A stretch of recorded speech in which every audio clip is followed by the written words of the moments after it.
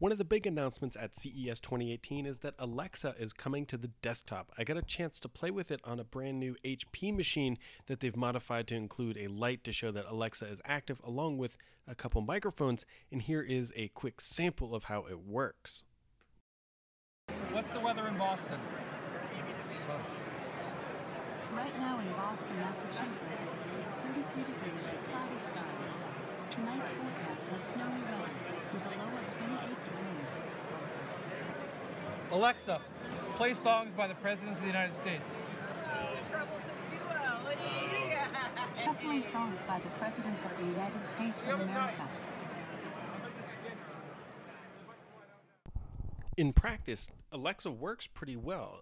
The thing here is that it's realistically just like Alexa on your iOS device or Android device on the PC. It's not controlling the PC in any way.